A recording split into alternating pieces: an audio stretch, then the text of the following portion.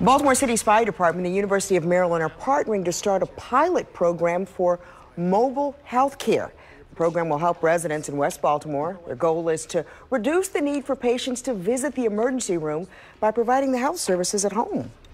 This is about saving lives. That's why that's that's what's so wonderful about it. And it's practical. It makes sense. So often we find in, in our country we know the things that make sense, but we don't can't bring the people together to do them. Congressman Elijah Cummings says the pilot program will serve West Baltimore residents for two years.